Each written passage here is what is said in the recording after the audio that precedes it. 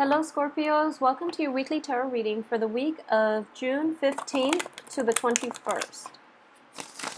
Okay, so let's see what we have for you guys.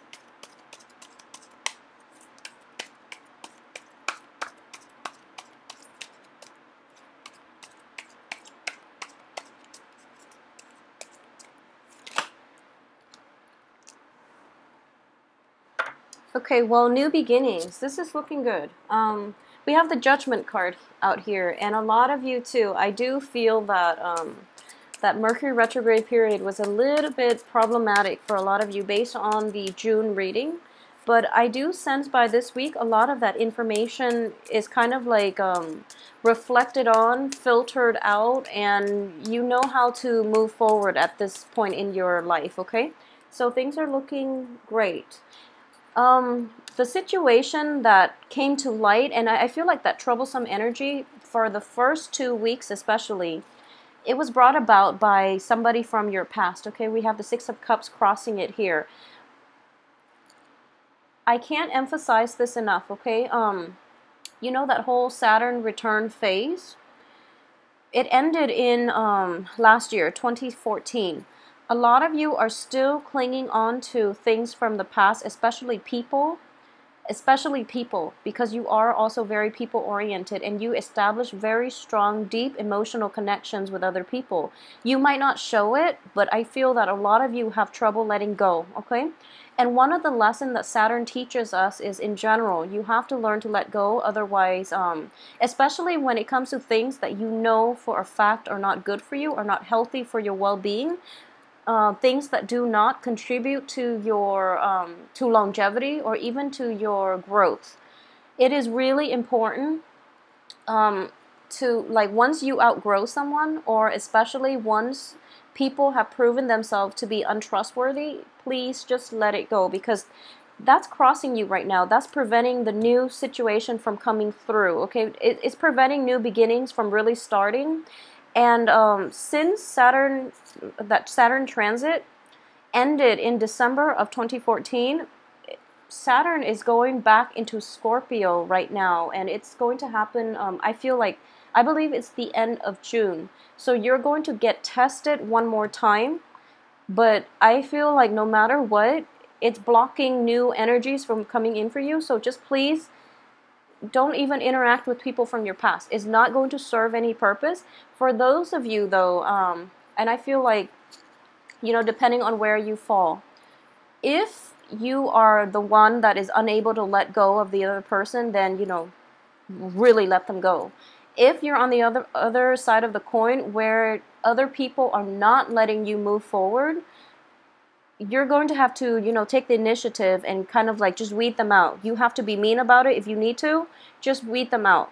But in general, this is also like um, the past is coming back up as well for you to re examine the path that you're on, okay? So it can play out in the mundane sense that, you know, people are just being troublesome and meddlesome or it, in the greater scheme of things, it can be something a little bit more cosmic, a little bit more troublesome, in that you have to like reinvent yourself and you have to really assess what it is that you're doing, especially like life choice, uh, lifestyle choices or decisions that you've made, and to know if it's in alignment with your values and your beliefs. Okay, so that's really, really important as well, because once again, new beginnings cannot start because you're being blocked here. And it's a universal blockage. So don't allow old behaviors to affect new things from happening for yourself, okay? In the recent past, we have the Seven of Cups, and this is in the reverse position. So I do feel that a little bit of clarity came into your life in the recent past. And because of it, I do sense that um, in general, for those of you who have falling out, um, who have had falling falling out with other people from your past, you're starting to realize, um, you know, where they're coming from. So it's sort of like it's very good clarity in that it explains to you other people's motives. It explains to you your own motives for doing something, and because of it, you're able to grow and you're able to realize that, um, you know, it needed to happen. And in the greater scheme of things, you're starting to see the big picture. Okay, so even if the information is like um, desirable, even if, for example, if someone from your past who has has been very hostile with you, and you're trying to figure out why, and then this information came to light in which they tell you, you know, it's because they were jealous of your behavior with other people, like coworkers or friends and things like that, then you realize, okay, they really care about me. That's why they were jealous. It doesn't mean, it doesn't excuse the behavior, and it also doesn't change anything that happened in the past, okay? So if there was a falling out, there was a reason for it. Knowing this information now doesn't change anything. However, you can take the information, you can process it, and then you can move on forward, and then you can, you know, be a better person when you deal with situations in the future. So instead of waiting for things to escalate, you can ask your relationship partner in general, like, um, you know, how they feel and ask them to express themselves a little more, or you yourself can learn to be more expressive in the future. So, either way, it doesn't mean that, okay, maybe I can rekindle the situation. I don't feel that's what it's meant to be because Saturn weeds out things that don't work in your life. So, they have gone through the ringer and they didn't make the cut. So, there's no point for that past energy to be coming back, okay? On top of that, what's crowning you here is um I also feel that you're putting on a very brave face and you you are trying to like um, not let it affect you but at the same time you're dealing with a lot of regret. You're dealing with a lot of like um, you know like what ifs. And um, in general I do feel that you are embarking on a new phase so don't get dragged down by this past energy which which is essentially is blocking you from new things okay? So you are putting on a brave face about it because you don't want the other person to realize how much they are affecting you. But at the same time you know reflecting back on this situation say your piece and move on okay? Because ultimately what's coming in for you is that um, this situation is not repairable Okay, and you know that, and um, it's really important for you to really accept the fact because I do feel with the tower in the reverse position, this is something that is coming to uh, an end. It's kind of like, it's kind of like, I hate to use this expression, but um, this is the only thing that I can think of. It's like watching a train wreck in slow motion, okay? There's nothing anybody can do about it. It is going to happen. It is going to end in tears. But you're outside of the situation, so you're not like heavily affected, but at the same time, you are sympathetic, you are empathetic with the people that are involved in this process. And when you're looking at this, this is something that cannot be repaired. You see it coming, so you know how to prevent yourself from really getting hurt. And the important thing is, it is really important for you to just not get hurt because, you know, in this deck, there's only one person falling out of the tower, whereas in the standard Rider Waite deck, there are two people. So it's kind of like both parties have contributed to this falling out, and both parties are hurt severely. In this deck, I'm sensing like one party is severely hurt. If you are a male in a relationship with a female, I do feel that um, more than anything, you know, she's she's going to land on her feet. She's going to be okay.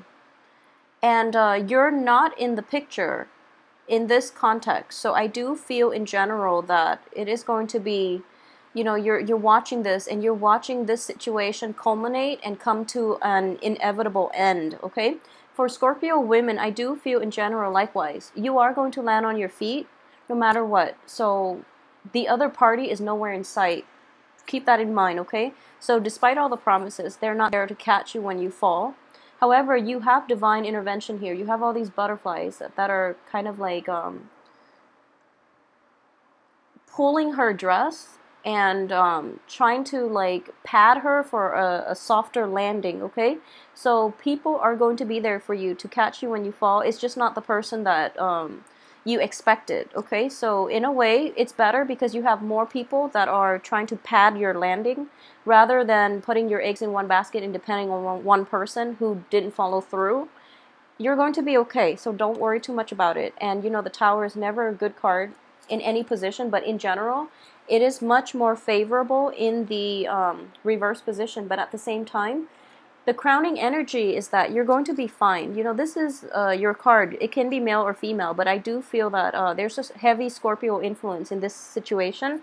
For those of you who are, um, well, in every context, I do feel that ultimately it's sort of like you know you know what's going to happen and for those of you who knowingly walked into this situation anticipating kind of like the worst case scenario it is the worst case scenario and it, it's going to happen but because you prep yourself i feel that you're going to be okay emotionally at least so um as for the advice here we have the two of wands and the Two of Wands is basically, um, when I look at this card, I do feel like it's in the reverse position. But if you look at this, I do sense that in general, it's sort of like the world is opening up for you. A lot of people say this is also like the planning stages, the initial stages of starting um, a project. It's sort of like looking at the world and dreaming about the possibilities. I do feel in the reverse position here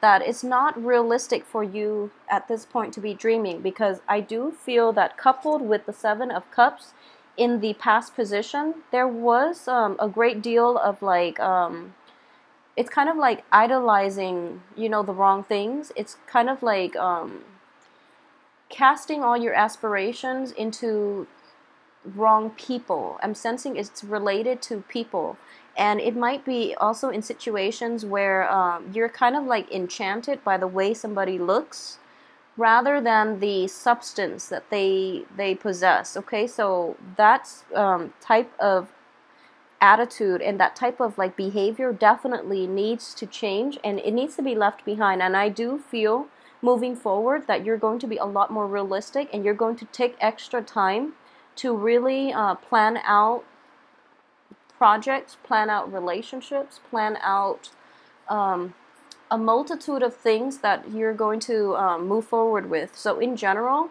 it's um, it's kind of like at the same time I do feel it's a little bit fear based in that you're being extra cautious, okay? And I don't feel there's anything wrong with that because, you know, on the heels of the tower, you really want to be cautious. So it, it seems like the practical thing to do. And as for your external environment, we have the Ace of Coins. So in general, you know, financial situations are looking good. A lot of you too. Um, I do sense in general that, you know, if this is a work situation, new projects will come that will bring you a lot more financial prosperity and a lot more happiness in general, okay? As for your uh, hopes and fears, in general, the Seven of Wands also indicates like a, a card of, it's a card of defense. It's sort of like doing what you want and you don't really despite the opposition okay? So in a way you have to defend yourself but you're kind of hesitant about doing that because that puts you on the spotlight. And in this situation i do feel that you're ready to take that spotlight or you know have that spotlight shine on you. You're ready to be in the limelight and you're ready to like give people your peace of mind because what they feel what they do has really no has no bearing on who you're about, okay? So in a way, it's sort of like despite the opposition, you're going to shine. You're going to um, be able to express the things that you need to express, and whatever they have to say, that's that doesn't really affect you. So you're hoping for that situation. You're hoping for that, but there's also a little bit of anxiety in general, where you you are like um, put on the spot and you have to like think on your toes so there's an element of that. So it's it's a little bit fear based, but let's look at the outcome here. Okay, so the outcome in general, we have the Seven of Swords in the upright position. This is not a, a good card in general. The financial situation in general, from your external environment, there is going to be quite a bit of money coming through for you. And I do feel that you're kind of like, uh, you're being recruited, okay?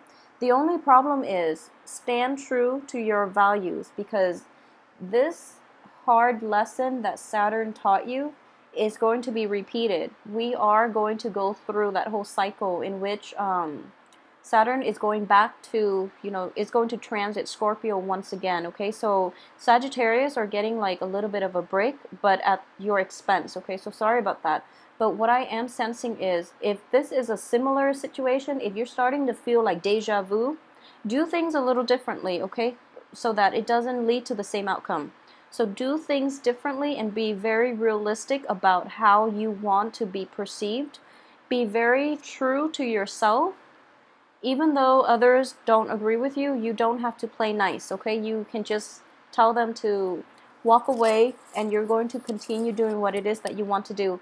However, if you've been doing the same thing without getting different results, if anything this week screams out deja vu, start thinking about things a little differently because you're heading down the wrong path, essentially. Also, um, when it comes to like the financial situation, ask a lot of questions. I do feel this is finance related as well. As for the Hierophant, um, in the this is also um, a very spiritual card. Okay, it's um, in this deck. I'm reading it as a mixture of the Magician, and uh, it's somebody that has a lot of power for good or for bad. So in this situation, if I do feel that this is also like a karmic a karmic and a cosmic um, energy cycling through to force you to confront a lot of uncomfortable issues, okay? So, it, it for those of you who are working um, in a company, in a very big institution, especially like um, when it comes to law, be very careful that you're not um, doing anything that, you know, outside of the guidelines, okay? Just be very careful. And at the same time, I do sense that for those of you who have been, um, you know, bogged down with like financial obligations and who have come from a place of like uh, financial worries, I do feel that there is going to be an opportunity this week. Be very careful about this, where you can, you or somebody else that you're dealing with, it's sort of like um, using kind of like a red herring to distract everybody so they can skim off some money from the top okay? Like so there is an element here of deception but at the same time it's sort of like causing a um, it's causing a spectacle so that somebody else can get away with you know skimming off the top. And like there's some there's some money missing. And that element is going to come out for this week. So be very careful about this if this is something that you're doing, I would say, you know, just protect yourself, be very, very careful. But I do feel that this is very karmic, so watch yourself, watch your back. If this is something that um, happened in the past and you're continuing the same type of behavior, I just want you to be very, very careful, okay? Um, it's sort of like the law of the universe. You know, whatever you take, you're going to have to pay back eventually. If not this lifetime, then the next and then it's also like uh, there are two acts of um, there are two crimes committed. The first is just you know the the physical act of stealing. That money has to come from somewhere, so it needs to be repaid, and it's going to get repaid in different ways. And at the same time, it's um, dis- distorting, I guess, the balance of the universe. Whereas you know that money is supposed to go to somebody, now they're deprived of it so you're kind of disrupting the flow as well. So not only do you have to pay it back, I feel that in general, you have to pay it back tenfold. So that's just the way the universe works. What goes around comes around and things like that. But it's going to come around because of the Saturn return, because of like this cosmic energy. It's going to come around in a way that you did not anticipate. Okay, so be very careful for this week. Stay true to yourself um, buffer yourself against temptation in general. Temptations in every respect, in every aspect of your life. Okay, on the work front, on in romance, and don't covet things that belong to other people in general. Okay, so Scorpio, sorry again for another grim reading, but I do feel in general that um, Saturn is making a comeback in your sign. So just be very careful and watch out for signs. Watch out for warnings you have very strong intuition, so always listen to your inner voice, okay? I hope, regardless, that um, for those of you who are on the straight and narrow, who have learned the lessons and who are, you know, just trying to lay low and trying to do the right thing, I really commend you. And um, I do feel in general that um, this energy will alleviate. So, you know, Try to have a good weekend. I will see you next week. Thanks for watching.